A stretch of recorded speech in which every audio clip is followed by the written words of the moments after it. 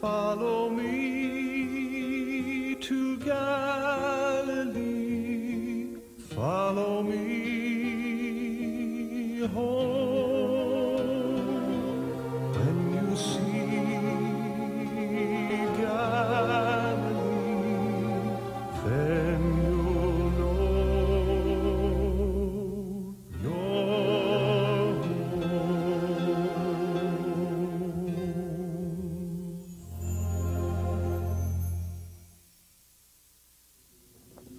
So then, after the Lord had spoken unto them, he was received up into heaven, and sat at the right hand of God. כי לי ניתנה כל סמכות בשמיים ובארץ. בשמיים ובארץ. לכן עשו תלמידים בכל העולם.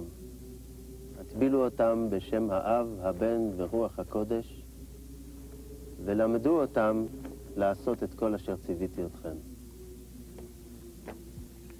היו סמוכים ובטוחים כי אהיה איתכם עד סוף העולם.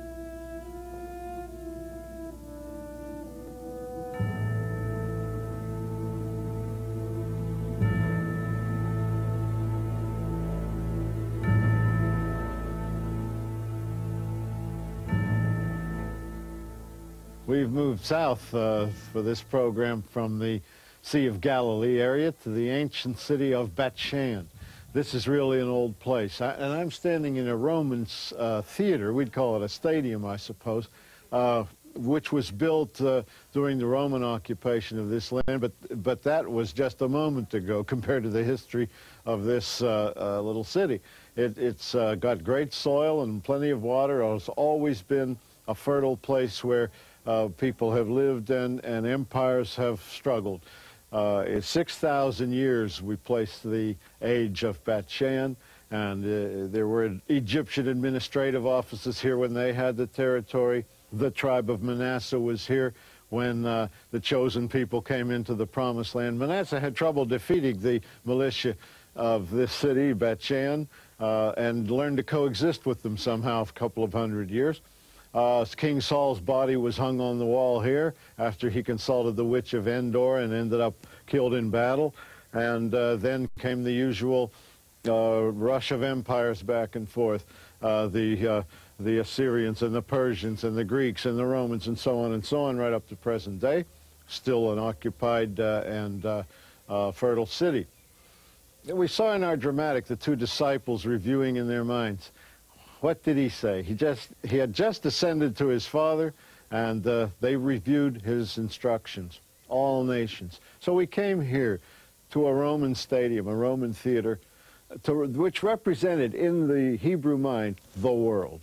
The empire outside of Israel seemed like to them the whole world. And so the disciples went forth with the Great Commission. And this is the true business of the church, taking out the, the word of God from Israel or from wherever it originates and taking it where it hasn't been heard. Uh, we are harvesters. We are characterized by the Lord as workers in a field. From John 4, 35 and 36, Say not ye, there are yet four months, and then cometh harvest. Behold, I say unto you, lift up your eyes and look on the fields, for they are white already to harvest. And he that reapeth receiveth wages, and gathereth fruit unto life eternal that both he that soweth and he that reapeth may rejoice together. The sower and the reaper, and that's us. We are the workers in a field. You hear behind me some uh, children sometimes because schools take field trips to a place like this. In Israel, when you study history, you go to the place. You don't just look at a picture in a book. So we'll, we'll hear them going. Also, archaeologists are working, and you may hear a machine start and so on because they're still digging up the past here. It's an almost never-ending task in a place as old as this. Now, when we go out as harvesters, we need to face the enemy and the world. We're also called soldiers in an army. We are intercessors for the world. Uh, intercessors are, are priests, and we are a nation of priests. From uh, 1 Peter 2 9, but ye are a chosen generation, a royal priesthood, and holy nation. This is said peculiarly of the born again believers, the Christians a peculiar people, that you should show forth the praises of him who hath called you out of darkness into his marvelous light. Now, the, uh, uh, the nation of priests should look back to the original priesthood and see what their function was and what they did. Uh, the priests in the tabernacle were sacrificers, in other words, intercessors between the uh, uh, people and God. By, by officiating the sacrifice, they were taking the offering from the people and rendering it unto God. Those were the Jewish priests. Now the church prays for every soul as intercessor. We, uh, those are the offerings in this age, the prayers. And we disciple the saved and train them for the priesthood. Uh, a good example in the gospel, and uh, uh, we showed it on our Sea of Galilee program, uh, was the miraculous catch when the Lord called Peter. He told Peter to go out in his boat into deep water, middle of the day, drop his net. Peter wasn't that confident, but he did the thing. He obeyed the Lord. There were so many fish, he had to call a second crew and a second boat out to the spot just to take in these fish, and the boats were nearly sinking. But the moment of taking out the second boat was expansion of the ministry. Peter, in a sense, was discipling those to come out and get more fish. So Peter, the great fisherman, his catch represented men. The Lord was to say, I'm going to teach you to catch men. And the second boat was expanding the ministry, discipling uh, some to help catch more fish. The priests discipled people in the temple and the tabernacle by showing them the gravity of their sins. Uh, blood offerings weren't pretty. Uh, the place, if you can picture, you walk in, there's a roaring fire.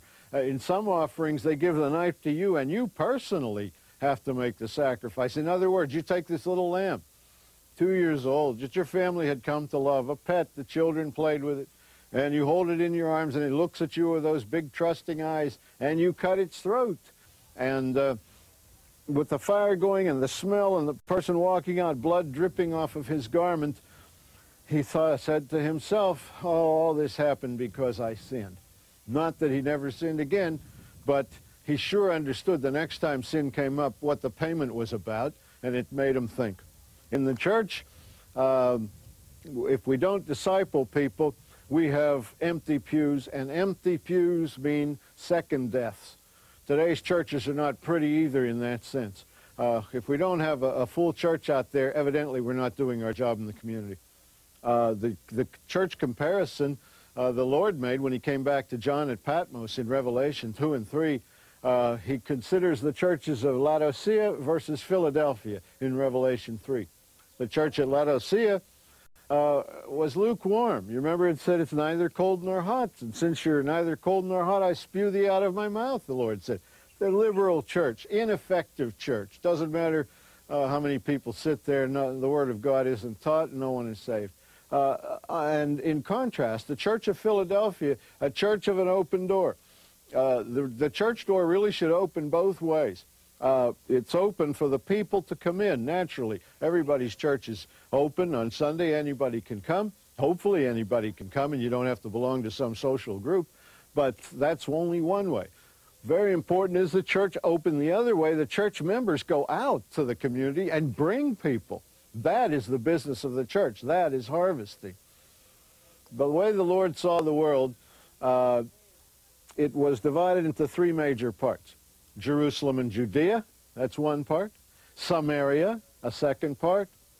The world, uttermost part of the earth, that's the third part. In Acts 1.8, he gave those instructions to his disciples. Ye will be my disciples in Jerusalem and Judea, in Samaria, and to the uttermost part of the earth. So you have three classes of the world, and it makes good sense. As we go along, we're going to show how the word always went to Jerusalem, and then Samaria, and then the rest of the world. The Lord demonstrated this himself. Uh, the idea of, of the Jew first, what Paul wrote in Romans 1.16, uh, uh, the gospel has power unto salvation to the Jew first and also to the Greek. Or in uh, uh, John 4:28, as the Lord told the Samaritan woman, we Jews know what we worship, for salvation is of the Jews. In other words, it starts at Jerusalem. And that's what the Lord demonstrated. Very early in his ministry, uh, given in John 3, Nicodemus confronts him, and the Lord says, you must be born again. Uh, it's, uh, he taught him about the spiritual life, how it is like the wind uh, that comes in lists and so on. And uh, Nicodemus' poverty was illustrated. He had little sp- spiritual grasp. And uh, the Lord didn't trouble long with him, but gave him a, a remarkably powerful sermon in a few verses. In Samaria next, the Lord, in other words, started in Jerusalem, now in Samaria. He witnessed in the very next chapter, John 4, and the very, as he left Jerusalem for Galilee, he witnessed to the woman at the well. We're going to have a, uh, uh, a study on this. Uh, we we uh, did a program on it. The Lord uh, does not omit apostates or blatant sinners. The woman had a head full of false doctrine because she was a Samaritan, half Jewish, if that, mixed up amalgam of Jewish theology and what the Assyrians had given to the ten tribes and brought into Israel, idol worship and so on. And she had lived the life that really was beneath that of most of us. Uh, but the Lord does not omit the apostate uh, nor the sinner. And finally, that's his mission in Samaria. Then he went to the world. As he traveled north in the country, the Syrophoenician woman came, the Roman officer came. Uh, these people, uh, their faith was tested, uh, and, and they passed. Uh, it, it, finally is expressed in, in Acts 10, 34 to 36. God is no respecter of persons. It doesn't matter what you thought before you were saved. Uh, it doesn't matter who you were. And, and, and Israelites stood there and watched him witnessing to the Gentiles. And, and with remarkable results. And it's curious uh, uh, what he said to that Syrophoenician woman in Matthew 15. Oh, woman, great is thy faith, comparing to the disciples who, who saw miracles like walking on water and, and, and big catches of fish. Oh, ye of little faith. The first case is a Gentile woman. The second are Jewish disciples who, who traveled with him and saw all these miracles. His example in the synagogue of Nazareth, he, he gave two Gentiles, in other words, still speaking from the world, uh, the widow of Sidon, uh, whom Elijah uh, uh replenished the bread and oil for in all those years, and Naaman, the Syrian captain, who came to Elisha, dipped himself in the Jordan, and was healed of his leprosy.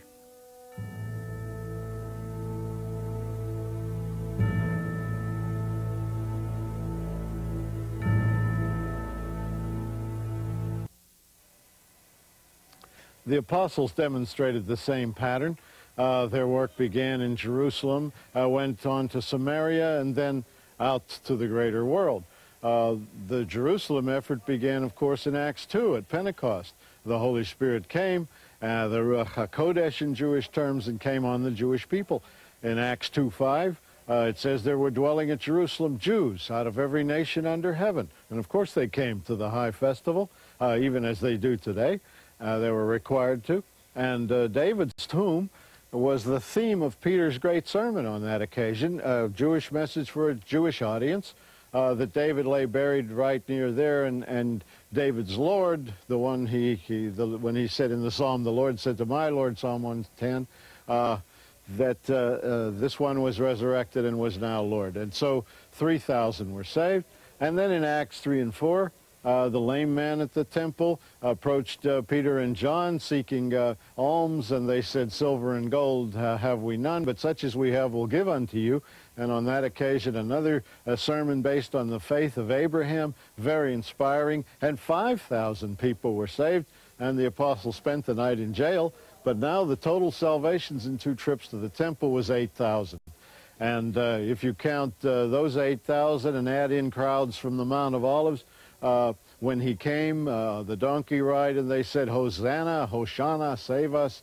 You have thousands more. And you had a, a, a church of Jerusalem. It was the first church in the world, the first Christian church uh, in Jerusalem that was as large as the largest churches that we have in America today. And there was uh, uh, the witness to Jerusalem. It was enormous.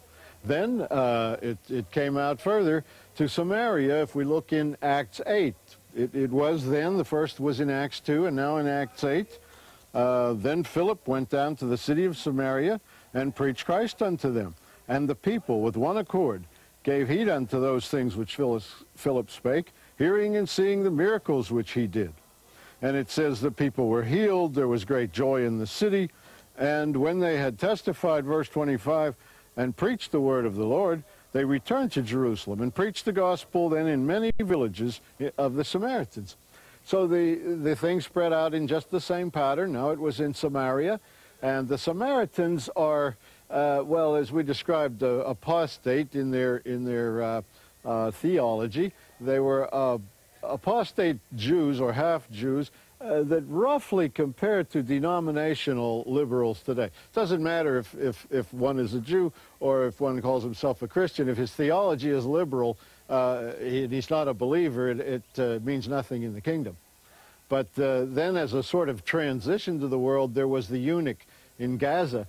Uh, Philip was commanded to go down to the south by the way of Gaza, and there he came to uh, this eunuch who was uh, uh, keeper of the treasury for Candace, queen of Ethiopia, uh, evidently like uh, uh, Office of Management and Budget, and a controller, and he was on his way. he, he went to the feast at Jerusalem. He, he, he was Jewish, and he kept the Jewish faith. He was reading Isaiah 53, and when Philip joined him and talked with him, he asked, of whom does the prophet speak? because he concluded that Isaiah 53, uh, by his stripes are we healed and so on, was messianic. It, it, definitely was about Messiah. And Philip witnessed to him from Isaiah 53 and uh, explained, this is, uh, this is the one of whom I'm telling you. And uh, uh, of course he was saved. Uh, Philip stopped at Caesarea, verse 40, a Gentile city. It's, in other words, branching out now to the world. Saul of Tarsus is saved in the next chapter, the, the great witness to the Gentiles of Jewish faith and faith in Messiah. And so it's out in the world. Uh, when Peter goes to Cornelius in Acts 10, and he comes into him, and uh, Cornelius bows down to him. Cornelius, of course, it, it says he gave alms and he prayed to God always. Cornelius deeply appreciated Judaism and might have been, as, as uh, uh, we mentioned in, in, one of the programs, a Ger Hatzedek, uh, a righteous uh, uh proselyte. Uh, he would rather have been Jewish than be the pagan that, that his other officers were. he, he sought the higher thing, but when Peter came to him, he heard for the first time of Messiah. And uh, the, even the, the uh, Jewish Christians that came with Peter were astonished that on these Gentiles uh, came salvation unto life in Acts 2.44 to 47, they were astonished because they just had not seen wholesale Gentile salvation like this ever before. Because now, just then, the word is coming out to the world. In the Gospels, the uh, people of the world had come to Jesus. But in, uh, uh in the book of Acts and uh, in the apostolic period, they went out to the world according to his directions, Jerusalem, Samaria, the world. Now, Acts 11, 18 is a proof text that God wants this done, uh, Gentile salvation. Uh, then hath God uh, given uh, repentance unto life to the Gentiles also. So then it was out into the world all the time. The gospel went to the empire, still with the principle Jews first, uh, as it says in, in Romans 1.16. Uh, Paul went to the to Asia, to Greece, and he spoke in synagogues. Uh, he was invited to speak as, as a, uh, a rabbi, a, a, graduate of the academy at Antioch, a, a person who spoke fluent Greek, and uh, who also could teach uh, uh, the interesting lore of the Jews. The, the, uh, the Bible, it was the Old Testament, but he lectured from it, skillfully proved Messiah from it. And in fact, so many Gentiles were saved, Paul began to write things like Romans 10.1, uh, uh, my heart's desire and prayer to God for Israel is that they might be saved. Or Romans 11, 1, I myself uh, am an Israelite of the tribe of Benjamin, try, trying to impress them that uh, uh, while, while the message was running like wildfire through the empire and Romans and Greeks and so on were saved, uh, what about the originals? He thought they were already making an omission in the Jewish witness, and that omission goes on to the present day. He was exactly right. Now, what is today's uh, uh, witness from the church to the Jews? Uh, greater in one area than another. Uh, there is great revival among Jewish people, but this is a rather difficult witness and something the church really don't like undertaking it if the truth be told. It's a difficult witness because uh, there's no sin nature in, in Jewish theology, so first of all, the basic reason for salvation really isn't there. And then a worldly view, uh, legalism, uh, ritual worship, uh, which which was the complaint uh, in in Herod's time uh, the, and before that the temple had deteriorated to mere ceremony. Uh, they weren't sincere. But you know, when God chooses who will take out the word, He invariably chooses from His chosen people. In uh, Genesis 11, when the Tower of Babel was built, the next thing you read about in the next chapter is Abraham, who He calls. Uh, in that case, He invented them, one chosen people to work through. Uh, the disciples were all Jewish, uh, all Jewish disciples, all Jewish apostles, and the 144,000 coming in Revelation 7 4 are all Jews. I, I said it once on my call in radio program, and uh, somebody called in from one of the cults and said, But we're the 144,000. Why do you say it's 12,000 of each of the 12 tribes of Israel? And he, he, had me shaking my head for a minute. I said, I didn't say that. God said that. I'm just quoting that. And I showed it to him in the Word. Uh, the Samaritans of today, we have them still. The Samaritans are the liberal and sacramental, quote, Christians, uh, church-going and, and sincere, at least to, in the case of observation of, of religion. They are observant, but, uh, but uh, no salvation there. Difficult witness also. And maybe the non-observant Jews are the same group. Uh, uh, just a spread of people with a knowledge of God, but, but not, not much faith to match. And the world today, of course, is, is gone to hell in a handbasket. What can I say? Sin, rampant everywhere, uh, unto death. And uh, uh, the world is a real tough witness these days. But we need to do it. We need to send missions. That's the end of the age. As, as Jesus said, Matthew 24, 14, and this gospel will be preached in all nations, and then the end shall come. The Great Commission climax is the age of grace, and it heralds the day of the Lord, the, the end of all things, the, the rapture, tribulation, uh, uh, Antichrist, uh, Armageddon, and end. Uh, have we uh, uh, been to all nations? Not really. Wycliffe has translated the Bible into 2,000 languages. There's 5,000 being spoken in the world. The bad news is. So let's review the Great Commission to number one, the Jew. Number two, the Samaritan. Number three, the world. In other words, number one, the religious, number two, the liberal, number three, the secular. If we do nothing in this life but bring a single soul to salvation, it will make an eternal difference.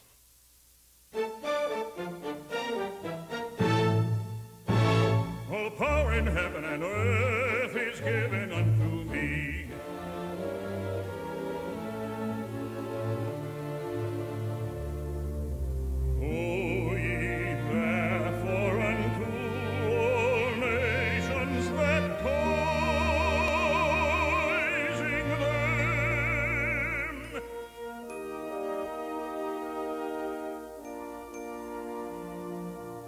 In the name of the Father, and of the Son, and of the Holy Ghost.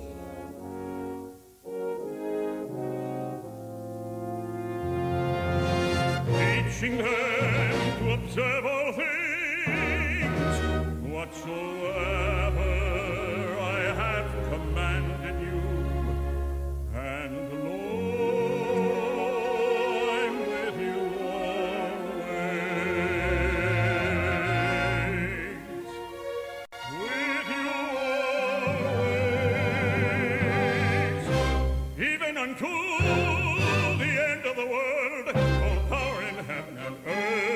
is given unto me. Is given unto me.